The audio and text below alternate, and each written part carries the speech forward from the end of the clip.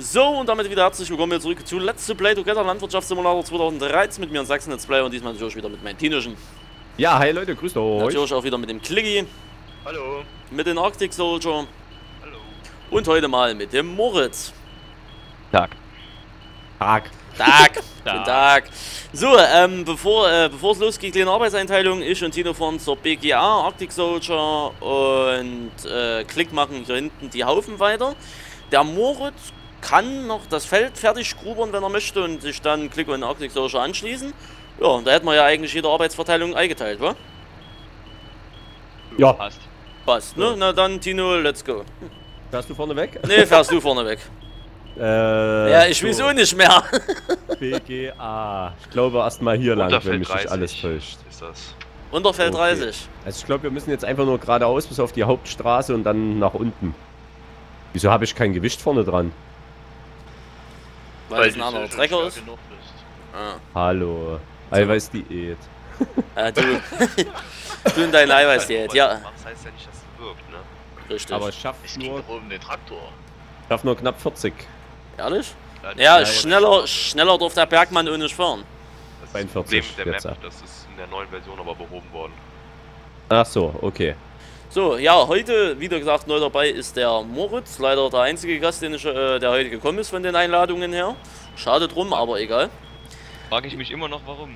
Ja, gute Frage, aber du hast die Chance erkannt. Die anderen, die haben nun mal keine Chance mehr, Pech gehabt.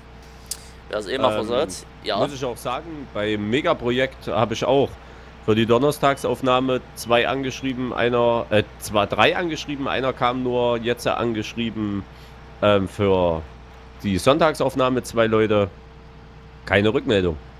Hm. Äh, äh, äh, äh. Wir sind hier ein bisschen, na egal, wir können doch hier vorne rechts abbiegen. war mir klar.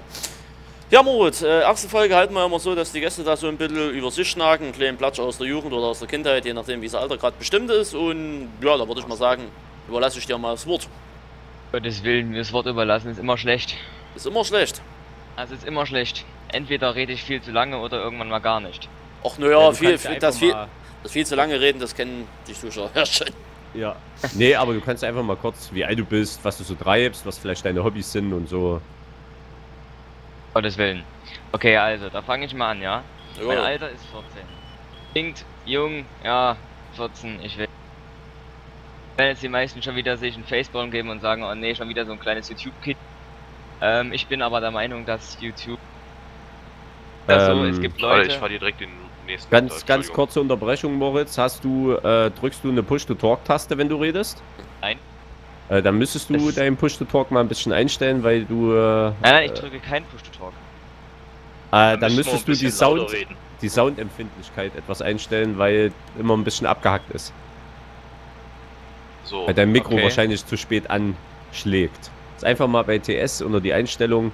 Oder mein Mikro ist zu weit weg von meinem Mund, das habe ich jetzt näher rangeschoben. Ich weiß nicht, ob es jetzt geht. Jetzt ist, jetzt kommt's flüssig.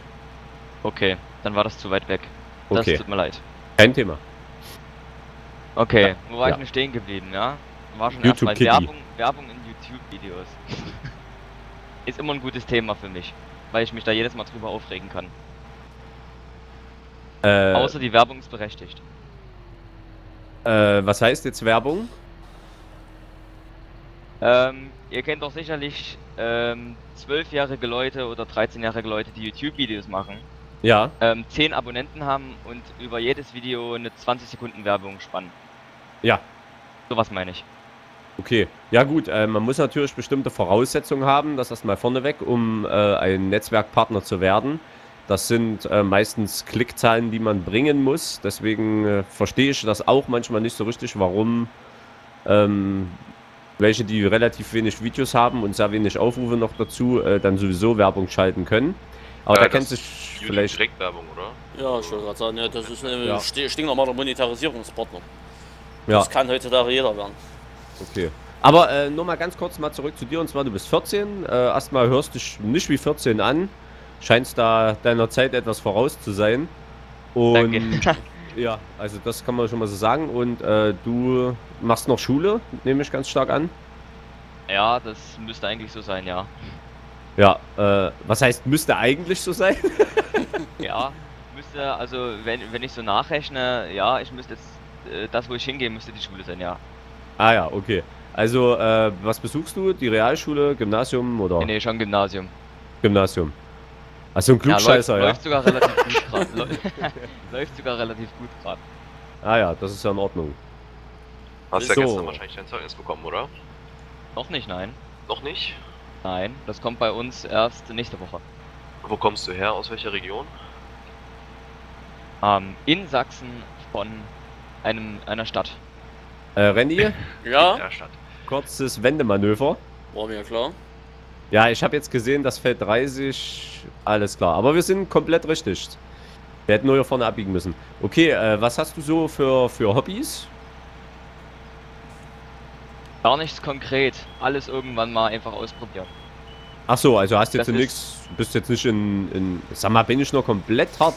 Ah, jetzt dreht Äh, ja ja, hier schon Witter. Äh, ihr seid total falsch irgendwie, oder ist das? Ja, ja. Nee, nee, wir müssen... Ach, das klickt, glaube ich. Ach, hier vorne rechts müssen wir. Nee. Hier vorne rechts. Hä, wer ist denn das da unten? Wo geistert die denn gerade rum bei Feld 11? Bei Feld 11? Nee. Ich sehe da auf meiner Karte, sehe ich dann roten Pfeil bei Feld 11. Nee, wir fahren jetzt Biogasanlage sind wir fahren gerade immer, äh, wir fahren gerade unter Feld 32 Richtung Biogas. Ja, äh, also bist jetzt nicht irgendwie in einem Verein oder oder sonst War. irgendwas? War. Okay. Aber das ist, das ist so gewesen, dass die Leute von dem Verein, wenn du da hingehst, ähm, die erwarten ja von dir, dass du, keine Ahnung, beim Tischtennis jetzt beispielsweise, die Ja. erwarten von dir, dass du, äh, wenn du relativ gut geworden bist, dann, keine Ahnung, nach einem Jahr, nach anderthalb Jahren, ähm, war ich ja dort, Mhm. und ähm, wollen ja dann von dir, dass du zu irgendwelchen Turnieren gehst, für den Verein irgendwas machst und was weiß ich nicht alles. Da Ja. erwarten die dann eben auch von dir, dass du alle zwei Wochen irgendwo zu irgendeinem Turnier nach, keine Ahnung, oh, irgendwo hinfährst, keine Ja, ja. Ahnung, was ähm, drei Stunden Fahrt entfernt ist und das alle zwei Wochen und da habe ich mir da gesagt, hast nee, du nicht so Bock drauf. Ja gut, das ist halt, äh, wenn man dann äh, gute, gute Spieler hat, das ist ja so, ich bin ja auch äh, Vorsitzender im Pokerverein und wenn wir jetzt irgendwo spielen, dann ist ganz klar, da schicken wir auch ähm, ähm, Ach, der versuch- Moritz, ja klar. schicken wir auch die gerne die äh, besten Spieler und so, aber naja, gut, äh, man kann es natürlich von keinem verlangen, das ist halt einfach so, wenn er keine Zeit hat, hat er keine Zeit. Ähm, ja, und ansonsten hast du jetzt, na gut, dann hast du ja noch vier Jahre Schule vor dir wahrscheinlich. Und Ja, kommt also gibt es da, denke ich mal, noch, gibt es schon irgendwie Planung, was du da mal so anstrebst? Oder? ähm, meine Planung ist das Ausland. Ah, du bist Ah. ins Ausland, okay. Und das heißt konkret? Ähm, höchstwahrscheinlich Amerika, weil Wirtschaft und so weiter, Aha. Da machst du Also nicht dauerhaft. falsch. das Also ich ist ja... mit, einem, mit einem guten Abschluss und vielleicht einer Ausbildung in Deutschland kannst du auch gut nach Kanada gehen. oder so, aber auf jeden Fall irgendwas Amerikanisches. Mhm. Weil mit denen ihrer Wirtschaft, denke ich mal, das wird was. Vorerst. Kann ja sein, es kommt irgendwo Wirtschaftskrise bei denen. Und dann muss ich denken, was ich dann machen werde. Also wie gesagt, ich kann dir da im äh, amerikanischen Raum kann ich dir äh, Kanada empfehlen, weil die suchen sehr viele Einwanderer Oh, die Sau, ey. Danke, danke. und äh, haben halt äh, ein Punktesystem. Das heißt, wenn du einen guten Abschluss hast hier in Deutschland und gut Englisch kannst, ne, bist du da schon so gut wie sicher drin und äh, haben halt auch ein sehr hohes Bruttoinlandsprodukt, also fast genauso hoch wie die USA. Wirtschaft ist dementsprechend stark, äh, hast halt viel Platz da, ne? Wo wo ja die Wirtschaft äh, von den äh, USA äh, kann man eigentlich zweigeteilt sehen, ob das eine stabile Wirtschaft ist, ne? Ich habe ja nicht gesagt, dass sie stabil ist. Ich habe nur gesagt, dass die ein großes oder ein hohes BIP pro Kopf haben. Das ist richtig, aber, aber äh, ich sag mal so, die Wirtschaft in den USA, also es stand ja jetzt mehrmals der, Kon äh, der Konkurs äh, des kompletten Landes im Raum, ne? Ja, das ist halt bei dem mit dem Zwei-Parteien-System, ne? Und dann, wenn man das halt nicht alleine durchbringen kann, ist klar, ne? Ja, das Problem ist, die haben halt auch äh, exorbitante Ausgaben, ne? Oh, Weil- ach du schon jetzt Vater hier ein Rennen oder was? Sag mal so, die, die äh, Tausenden von Soldaten im, im Ausland, jetzt nur mal als Beispiel, die kosten halt, das ist halt unglaublich, was allein die Armee und die Einsätze, was die fahren, was das für Geld verschlingt. Ja, auch die Ich Entwicklung muss jetzt aber mal kurz einlenken, und so. muss noch irgendein Feld gegrubbert werden. Äh, Äh, vorerst. Ja, das, das oder? äh, da, wo du gerade bist, also Richtung unserem Haufen, wo wir gerade dran sind.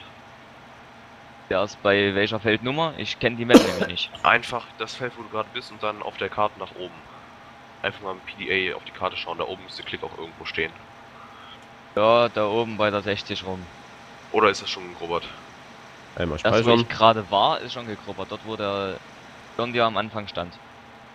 Hm. Also habt ihr jetzt hier auf die große Fläche gekippt oder ins Fahrsilo? Ja, wir haben es Ja, jetzt wir ins Fahrsilo Fahrsilo. gegeben. Okay, machen wir erstmal eins voll. Entschuldigung, wie viel bei der Bastia wird er genau. ewig in drei Tage Reihe, oder? Naja, Äh, 23 Prozent, also sagen wir mal aufgerundet 25 Prozent bei 450.000 aufgerundet. Mhm, das läuft. was 450.000 in ein Silo? Ja, und das sind 23 Prozent. Ach so, also, also gehen äh, 2 Millionen rein. Ja, schätzungsweise. Gut. So, hier ist. Welches Feld, Feld, Feld Feldnummer ist das? Was jetzt noch gegrubbert werden muss? An Meinst der du? 57, gleich neben Hof. Moment, ich schau mal ganz kurz auf die Map. Ähm, 57. Äh, wie sieht's denn auf der 59 und 60 aus? 60. 59 und 60, die sind gleich ich alle nebeneinander. beide schon Ja, ja. vor fünf Folgen. Okay. 55 ist glaube ich auch noch nicht gedruckt, aber Ja, dann wenn nicht, dann, dann äh, äh, schmeiß erst mal den Grubber in die Ecke und würde ich sagen, fahr mit ab, wenn wir noch einen Anhänger haben. Also äh, Ja. 25 Prozent Das sind mal- 475.000, macht 1,9 Millionen pro Silo. Ja, dass wir, dass wir quasi jetzt erstmal die Silage hier wegbekommen.